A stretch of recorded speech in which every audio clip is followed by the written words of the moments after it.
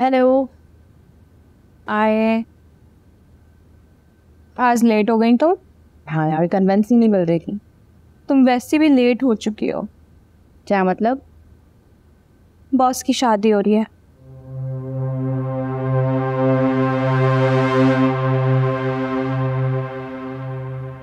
किस बॉस की? और कितने बॉस है इस ऑफ़िस में? मैं सर हमदान की बात कर रही हूँ।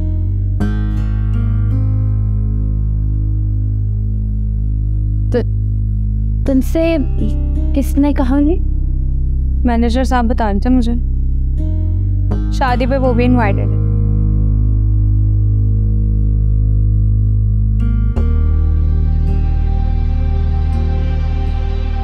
क्या हुआ? अच्छा उदास हो गए हो तुम? नहीं। अपनी औकात याद आ गई। और इससे मुझे हमेशा याद रखना चाहिए सही बात है, ज़मीन पर रहकर चाँद की ख्वाहिश नहीं की जा सकती।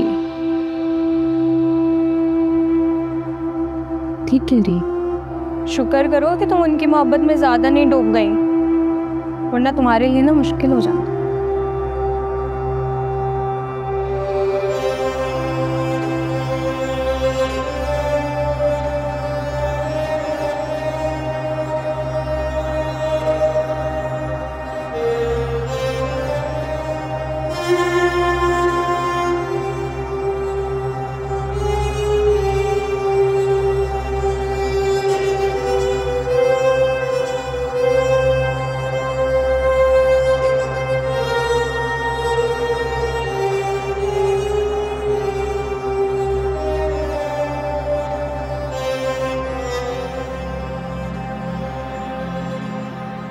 कितना खूबसूरत है। ना कलर बहुत प्यारा है इसका। आयुष्मान ये देखो।